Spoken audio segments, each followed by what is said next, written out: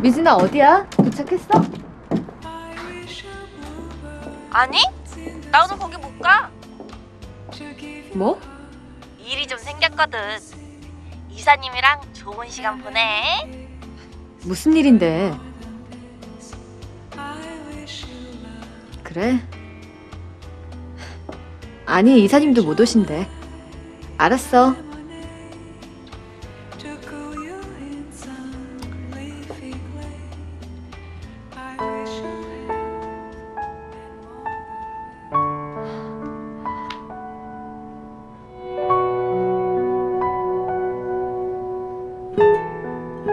장난 아니라니까.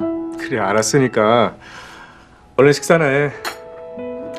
자 미국 생활은 어때? 머리가 가득 널 그려